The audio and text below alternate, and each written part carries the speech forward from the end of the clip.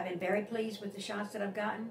I have was in two and a half years. I had knee pain, basically all day, every day. It never would go away. Since I've come in for the shots and injections here, I have not hurt one day at all.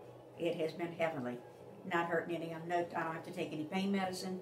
I'm just very pleased with the services I've gotten.